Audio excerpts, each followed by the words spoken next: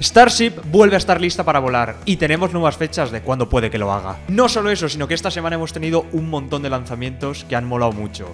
Crew One, Rocket Lab y bueno, lamentablemente el cohete Vega que no ha conseguido llevar a cabo la misión. Así que vamos a empezar con lo que ha ocurrido esta semana. Crew One fue lanzado esta semana, llevando cuatro astronautas en una cápsula Dragon encima de un Falcon 9 a la Estación Espacial Internacional. Estuve viendo la misión en mi canal de Twitch y fue alucinante. Por cierto, muchas gracias a los que estuvisteis allí.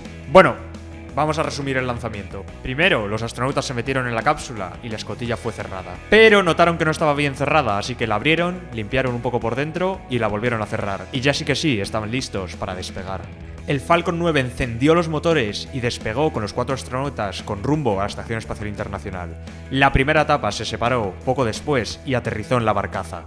Aquí es donde llega el primer problemilla. La primera etapa aterrizó en la barcaza algo de lado y dañó parte de sus componentes, pero bueno, los cambiarán y todo seguirá perfecto. La segunda etapa siguió impulsando la cápsula hasta meterla en órbita y se separaron. Poco después llegó el segundo problema. Y es que tuvieron algunos problemas con los sistemas que mantienen la temperatura del combustible de la cápsula, pero bueno, lo consiguieron solucionar y completaron la misión. Durante el vuelo, el astronauta Victor Glover, que por cierto es el piloto, recibió su medalla de astronauta, porque era su primer vuelo y acababa de cruzar los 100 kilómetros de altitud. Tras esto, Crew Dragon llegó a la Estación Espacial Internacional con cuatro nuevos astronautas, haciendo que la tripulación de esta fuesen siete astronautas. Este es el máximo número que ha habido jamás. Bueno, ahora vamos a pasar a Rocket Lab. Rocket Lab lanzó al espacio su cohete Electron con varios satélites encima, pero más importante aún, consiguió amerizar la primera etapa y recuperarla. Bueno, ahora vamos a hablar de la noticia mala de la semana. Como sabéis, el cohete Vega falló en la misión y no consiguió llevar los dos satélites al espacio, incluido el satélite Ingenio. El cohete Vega es un cohete de cuatro etapas. En esta cuarta es en la que ocurrió el problema. Básicamente, dos cables estaban puestos en el sentido contrario. Esto hizo que la misión fuese un fracaso y que no consiguiesen hacer una inserción orbital exitosa. Esto fue un fallo humano, es una lástima, pero hay que seguir adelante. Bueno, y justo ayer el cohete Falcon 9 lanzó el satélite Sentinel-6 al espacio. Y lo más impresionante es que aterrizó justo al lado del pad de lanzamiento. Bueno, estos lanzamientos, excepto el de Rocket Lab, porque fue muy tarde y lamentablemente no pude streamearlo, los streameé en mi canal de Twitch. Tenéis el link en la descripción. Ahora vamos a hablar de Starship. SN8 parece haber sido reparada y ya sabemos qué es lo que la dañó.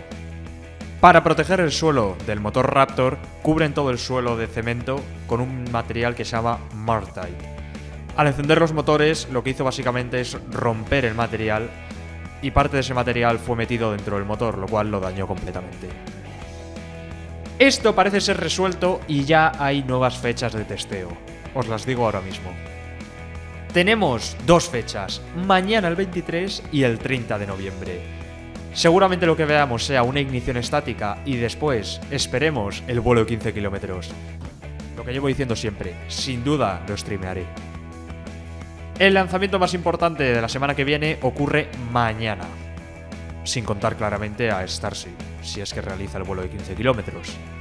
Y es que SpaceX va a lanzar 60 satélites Starlink más en su misión Starlink 15. Madre mía, o sea, ya vamos por la misión Starlink 15 Mira, yo me acuerdo cuando hacían las de demostración. Esto acerca la constelación del Starlink cerca de los 900 satélites. Estamos lejos de los 12.000, pero bueno, llegarán algún día. Bueno, muchas gracias por ver el vídeo, espero que os haya gustado. Ha sido una pena lo del lanzamiento del cohete Vega, pero bueno, hay que mirar para adelante. Y recordad, si Starship SN8 falla, SN9 está casi completo. Casi completo. Así que nada, Esperemos que todo vaya bien. Cierro el vídeo. Meto el ending. Sí, venga, vamos a meterlo.